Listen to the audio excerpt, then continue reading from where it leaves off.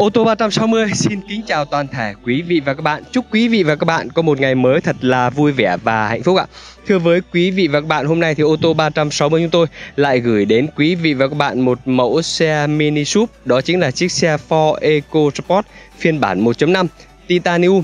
Chiếc xe được sản xuất năm 2016, đăng ký tên tư nhân, biển Hà Nội và lăn bánh chuẩn 9 vạn km quý vị bạn nhé. Chúng tôi cam kết là đồng hồ chuẩn, chúng tôi không tua. Và cái dàn lốp này thì chủ xe vừa mới thay đôi lốp trước thôi. Đôi lốp sau còn rất là dày nhưng mà nó bắt đầu là nó cũng do năm tháng nó bắt đầu ải dần ải dần cho nên là hết tuổi thọ tuy hết tuổi thọ nhưng còn rất là dày. Chủ xe đã thay một đôi lốp trước để đi cho nó an toàn thôi chứ còn rất là dày nhé quý bạn nhé chạy chuẩn 9 vạn km ấy, còn rất là đẹp luôn. Lốp còn theo xe hai lốp sau còn theo xe lốp sơ cua theo xe và với chiếc xe này chúng tôi vẫn cam kết với quý vị và bạn. Thứ nhất là không tai nạn thứ hai là không ngập nước keo chỉ nguyên bản và máy móc còn nguyên bản.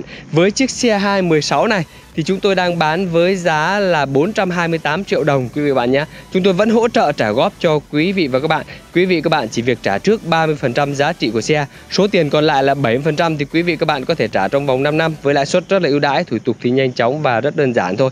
Vậy nếu như quý vị và các bạn nào mà đang quan tâm đến chiếc xe Ford EcoSport phiên bản 1.5 Titanium 2016 này thì hãy liên hệ ngay theo số hotline của ô tô 360 chúng tôi đang để phía dưới góc bên phải màn ảnh quý vị các bạn đang xem đây ạ là 0 0905 608 883 để được chúng tôi tư vấn hoặc chúng tôi có thể mời quý vị và các bạn qua địa chỉ gà chúng tôi 16 phố Tố Hữu, phường Trung Văn, quận Nam Từ Liêm, thành phố Nội để được xem xe và lái thử trực tiếp chiếc xe Ford EcoSport 2016 này ạ.